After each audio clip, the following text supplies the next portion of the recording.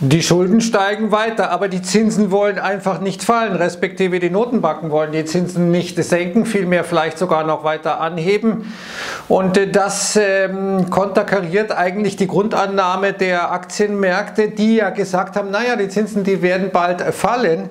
Und äh, wenn wir mal eins und eins zusammenzählen, dann riecht, dann schreit alles nach einer Rezession und dafür sind die Märkte bei weitem nicht äh, bepreist. Kommt da ein Crash? Naja, zumindest eine saftige Korrektur ist zu erwarten. Wir haben gestern beim Nasdaq ja deutliche ähm, Rückgänge gesehen. Da ist viel auch durch den Optionsmarkt gelaufen, aber es ist ausgelöst worden durch diese Anhebung der Zinsen, die völlig überraschende Anhebung der Zinsen durch die Bank of Canada, die die Zinsen jetzt auf 4,75 Prozent angehoben hat und das, obwohl man eine deutlich niedrigere Inflation als äh, in den USA zu verzeichnen hat. Aber jetzt schauen wir uns mal an, wie eigentlich die Lage der amerikanischen äh, Konsumenten ist, nämlich des privaten Sektors. Und hier sehen wir, die sind äh, deutlich verschuldeter in Relation zum BIP, als die Japaner es damals auf dem Hochpunkt äh, von deren Immobilienblase war. Sie wissen, der ähm, Kaiserpalast in Tokio war mehr wert als Gesamtkalifornien, die Immobilienpreise in gesamte Kalifornien oder die Summe sozusagen des Immobilienwertes von ganz Kalifornien. Jetzt sehen wir also, dass in diese hochverschuldete Ökonomie, die eine unglaubliche Hausblase, Immobilien Immobilienblase auch jetzt in den letzten Jahren mit äh, dieser ultra lockeren Geldpolitik ausgebildet hat, dass jetzt natürlich hohe Zinsen Gift sind. Und hier rechts sehen Sie, kein Zufall, dass wir den größten Rückgang der Hauspreise ähm, gesehen haben in der kanadischen Geschichte, 8,5 Prozent. Und jetzt sind ja die US-Wirtschaft und die kanadische Wirtschaft strukturell ähnlich. Und ähm, deswegen äh, ist dieser Schritt aus meiner Sicht bedeutsam, den gestern die Bank of Canada gemacht hat, weil sie sagt, okay, wir müssen dennoch die Zinsen anheben, obwohl wir fürchten müssen, dass natürlich das in dieser immensen Verschuldungssituation negative Folgen haben wird. Ähnliches hat ja Australien gemacht. Dennoch, die Wall Street glaubt immer noch an dieses Soft Landing Narrativ, also dass die Dinge gut gehen werden. Wir sehen hier mal ein Aktienbasket von Aktien, die von einem Soft Landing profitieren würden. Gestern äh, deutlich und massiv gestiegen, während Stanley Druckenmiller warnt, es werden mehr Dominosteine noch fallen. Silicon Valley Bank war nur die Spitze des Eisberges, das äh, denke ich auch. Da liegt der gute Mann relativ richtig und er sagt, diese Hoffnungen auf eine weiche Landung halte ich für Unsinn, denn wir haben eine Inflation, die eben stickier ist, deswegen wird die Fed die Zinsen nicht senken, aber äh, es ist dann nur eine Frage der Zeit, bis dann eine harte Landung passieren wird und äh, genau das ist aber von den Aktienmärkten nicht eingepreist und diese harte Landung schauen wir uns mal an. Wir haben jetzt frische Daten hm, gestern bekommen äh, zu der Verschuldung der Amerikaner. So ist die Gesamtverschuldung Consumer Credit jetzt bei 23,1 ähm, oder um 23,1 Milliarden Dollar wieder gestiegen auf ein äh, neues Hoch, neues Allzeithoch von 4,86 Billionen. Allein die Kreditkartenschulden äh, sind äh, jetzt 13,1 Prozent gestiegen zum Vorjahr auf 1,244 Billionen. Und wenn wir von diesen Kreditkartenschulden sprechen, dann sprechen wir von Schulden, die durchschnittlich, wie Daten der FED zeigen, mit 20,9 Prozent Zinsen ähm, zu Buche schlagen. Das müssen Sie sich mal vorstellen. Wenn Sie also 10.000 Dollar Kredit haben oder Kredit aufgenommen äh, haben und Sie zahlen jährlich äh, 20% Zinsen, dann hat sich in wenigen Jahren Ihre haben sich in wenigen Jahren ihre Schulden verdoppelt und äh, diese Geschichte wird äh, nicht lange gut gehen aus meiner Sicht, weil der Konsument ja ohnehin unter Kaufkraftverlusten leidet. Hier sehen wir die Real ähm, Average Hour, Hourly Earnings in den USA, also die Reallöhne in den USA oben. Ähnliches übrigens unten in, Kanada, in äh, Australien, weswegen auch die australische Notenbank die Zinsen angehoben hat. Und das bringt so diesen ganzen Konflikt für die Notenbanken auf den Punkt, denn wir sehen jetzt schon, dass die Amerikaner etwa praktisch äh, die gestiegenen Lebenshaltungskosten über neue Schulden finanzieren, die sie mit der Kreditkarte aufnehmen. Das geht äh, auf Dauer nicht gut. Die drohen dann irgendwann aus dem Konsum zu kippen, weil sie das nicht mehr stemmen können. Und genau das ist die Gefahr, die den Notenbanken bewusst ist, dass die Konsumenten nicht mehr konsumieren. Und das ist in konsum konsumorientierten Wirtschaften natürlich ein riesiges Problem. Dementsprechend versuchen sie alles, um diese Inflation nach unten zu kriegen und sei es auf Kosten einer Rezession vielleicht eben die einzige Chance, die Nachfrage nach unten zu bringen. Und so hat die Deutsche Bank ja ein Rezessionsmodell, die sagte, über die nächsten zwölf Monate die Rezessionswahrscheinlichkeit nahe 100 Prozent. Wir sehen auch hier die Leading Indicators, die Frühindikatoren etwa in den USA auf einem Stand wie praktisch nach Platzen der Dotcom-Blasen, äh, wie bei der Finanzkrise und wie zuletzt im Jahr 2019. Oben sehen wir mal die aktuelle Entwicklung gegenüber typischen Bärenmarkten in den letzten Jahren. Und ja, das sieht etwas anders aus, ähnelt aber am ehesten noch dem Muster des Jahres 2000.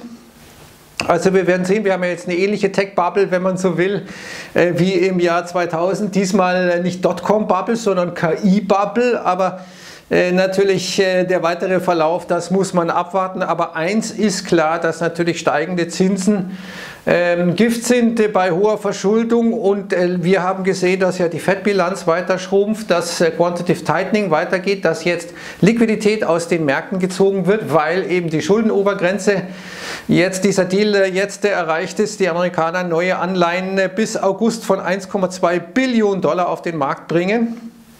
Das muss also irgendwer kaufen. Dadurch entsteht eine Liquiditätskonkurrenz und die Zinsbelastung wird immer größer äh, bei den äh, Schulden. Und wenn wir uns jetzt mal den Verlauf des bisherigen Jahres ansehen, dann kann man vielleicht sagen mit Bernd Leitler, dass äh, natürlich der äh, Pain Trade, der große Pain Trade war nach oben, äh, nicht im Markt zu sein. Gerade wenn du als institutioneller Investor am Start bist, kannst du dir das nicht leisten, wenn die Märkte nach oben gehen und du bist nicht dabei, wenn es nach unten geht. Kannst du sagen, naja, es hat ja alle erwischt, konnte doch keiner vorhersehen. Und ähm, das Problem ist halt, dass äh, selbst wenn es nicht zu einer Rezession kommen sollte, durch die steigenden Aktienmärkte zusätzliche Nachfrage erzeugt wird. Wer in sein Depot schaut als Amerikaner und sieht, wow, ich habe eine Google, ich habe eine Amazon, ich habe äh, eine Nvidia, da habe ich jetzt so viele tausend Dollar verdient, da kaufe ich mir mal einen schicken Fernseher dafür weil diese Aktie ja so deutlich im, meine Aktien so deutlich im Gewinn sind. Das heißt, du erzeugst damit zusätzliche Nachfrage. Das wiederum äh, führte zu latent äh, höherer Inflation. Und jetzt äh, sehen wir, dass durch diesen äh, Zinsschritt der Bank of Canada die Wahrscheinlichkeit, naja, um und bei ein Drittel ist, dass die Fed nächste Woche die Zinsen anheben wird. Das ist das erste Mal wirklich seit Jahren, ich hatte es gestern schon gesagt, dass nicht wirklich klar ist, nicht 100% sicher ist, in welche Richtung die ganze Geschichte gehen wird. Wenn wir uns das gestrige Geschehen mal anschauen, dann sehen wir leichtes Minus beim S&P 500, plus, leichtes Plus beim Dow Jones, dickes Plus beim Russell mit fast 2% und der Nasdaq 100, die Dickfische aus dem Tech-Bereich minus 1,75%. Jetzt haben wir wie äh, Sven Henrik hier bemerkt, ähm, ein, Reverse, ein Reversal gesehen, also praktisch eine Umkehr. Zunächst der Nasdaq ja deutlich im Plus gestern wieder, dann aber über 2% gefallen, während gleichzeitig auf Schlusskursbasis der WIX ein Dreijahrestief macht. Das hat es noch nie gegeben in einer solchen Konstellation. Historisch einmalig, historisch fast einmalig ist, dass wenn der S&P 500 weniger als ein Viertelprozent gewinnt, dass der Russell mehr als 2,5% gestiegen ist. Wir haben gestern also wieder die Nebenwerte gesehen, Russell 2000. Vor allem der Regionalbankensektor hat die ganze Geschichte mit nach oben gezogen, entgegen der Warnung von Druckenmiller, der sagt, das Ganze ist noch nicht vorbei. Das denke ich auch, dass das nicht vorbei ist, weil nach wie vor Geld ja in diese Geldmarktfonds fließt und von Bankkonten abgezogen wird. Aber da will man eben äh, praktisch äh, jetzt die nächste Sau durchs Dorf treiben.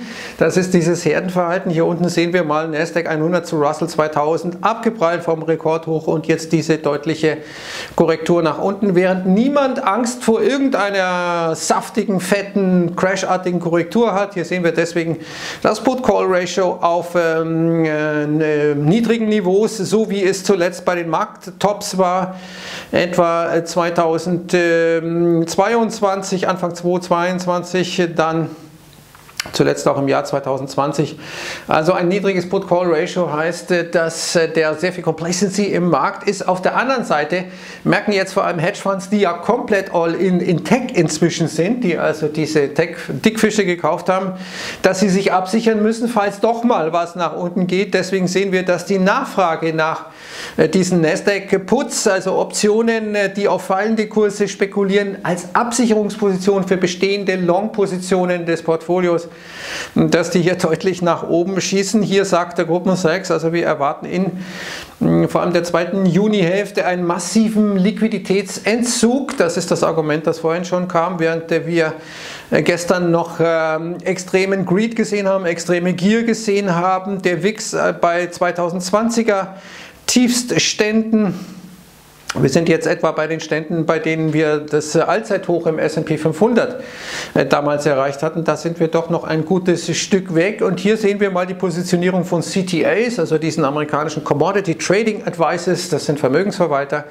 Wir sehen rekordhohe Positionierung am Markt. Die gehen sehr prozyklisch mit der Entwicklung der Kurse. Wenn also die Kurse steigen, dann kaufen die weiter, kaufen weiter. Wenn die Kurse fallen, dann verkaufen sie, verkaufen sie. Äh, dadurch, dass ähm, die Positionierung so extrem ist, gerade im Tech-Bereich, sonst wären ja die Aktien nicht so deutlich gestiegen, die Dickfische, äh, diese wenigen Tech-Aktien, die das Ganze ähm, nach oben getrieben haben könnte da natürlich dann auch ein Kaskadeneffekt nach unten kommen, zumal wir sehen, dass sich der Nasdaq komplett von den Financial Conditions, von den Finanzkonditionen abgekoppelt hat. Und diese Finanzkonditionen definieren sich unter anderem eben durch die Renditen am Markt. Und wir sehen jetzt die 10-jährige US-Staatsanleihe gestern ja deutlich gestiegen, jetzt äh, bei 3,813 Prozent, 3,8 ist ein Widerstandsbereich. Und hm, viele sagen, ja, wir haben einen neuen Bullenmarkt, aber vielleicht ist es doch nur eine Bärenmarkt-Rallye, wie Diego Fastnacht hier zeigt.